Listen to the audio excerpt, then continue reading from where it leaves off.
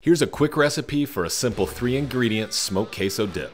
Start by browning up some ground beef on medium high heat on the Traeger Flatrock, and then when it's done, put it on a tray to cool.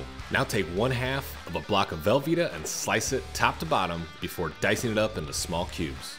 Then when you have it diced up, place it into a cast iron pan. Now it's time to mix in the brown ground beef, and then add one can of Hormel no bean chili. Mix everything together and season with some Rock's coffee rub.